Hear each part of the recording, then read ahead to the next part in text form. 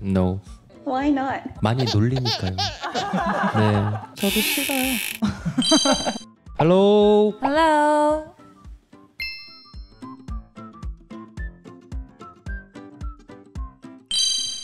어, 일단 캐릭터 두나를 좀 매력적으로 보이기 위해서 어떻게 처음에 좀 많이 두나를 오해하게 만들지 그런 걸 고민을 많이 했고 또 두나, 두나의 스타일링이나 집에서 있을 때의 모습들 그런 것도 좀 고민을 많이 아무래도 두나를 남들보다 두나의 감정을 이해하는데 조금 더 수월했던 것 같고 사실 무대에서의 그런 것들도 많이 도움이 됐던 것 같아요. 좀 어, 되게 오랜만에 이렇게 그룹 과 호흡을 맞춰봤는데 그런 것도 무대에 막상 올라가니까 예전의 기억들이 막 떠오르고 어, 그 기억으로 무대에서 어, 임했던 것 같아요. 아 근데 이게 그 지금 그 원준이와 두나가 아닌 그 수지 씨와 세종이로서 물어보신 거죠? No.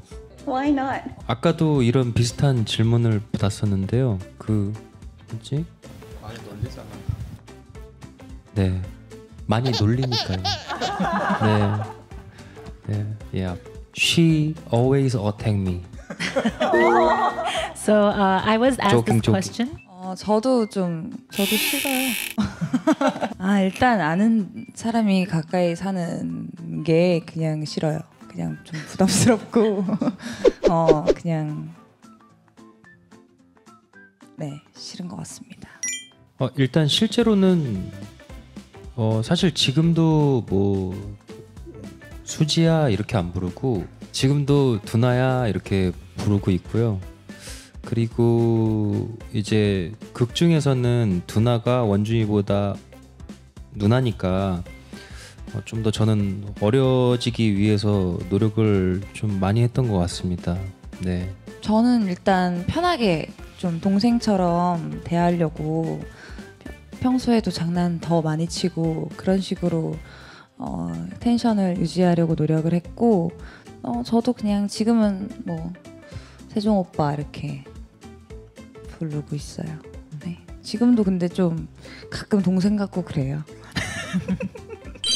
제가 느낄 때는 되게 좀 로맨틱하고 이런 것보다는 굉장히 불안정하고 아슬아슬하고 금방이라도 깨질 것 같은 그런 불안정성. 저는 어, 두나와 원준이가 관계가 진전이 되면서 저는 로맨틱한 느낌을 받는 와중에 이 관계를 보면서 좀 울컥울컥하는 포인트들이 있었어요. 근데 그게 울컥하지 않아도 되는 포인트들인데도 불구하고 어, 울컥하고 되게 뭔가 복합적인 여러 가지 감정들이 껴 있어서 어, 뭐 이렇다 저렇다라고 딱 단순하게 말은 못하지만 네 많은 감정들을 느낄 수 있는 작품인 것 같습니다.